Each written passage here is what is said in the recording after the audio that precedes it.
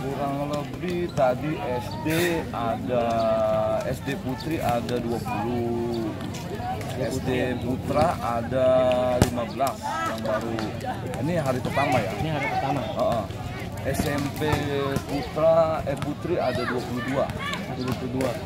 SMP Putri ada 21 Putri ada 21. Heeh. SMA Putra ada sekitar tadi berapa tuh Banyak lebih banyak. lima lima ada 40-an Ada 40-an. 40-an lebih SMA Putri ada baru ada 15 Baru ada 15.